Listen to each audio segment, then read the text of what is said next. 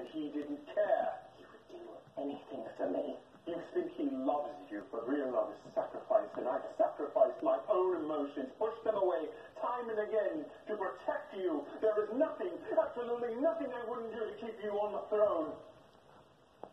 Even those are my unborn child. He knew I was pregnant. I swear, I didn't know. With the courtesan who was constantly visited, she led to the girl who she replaced, the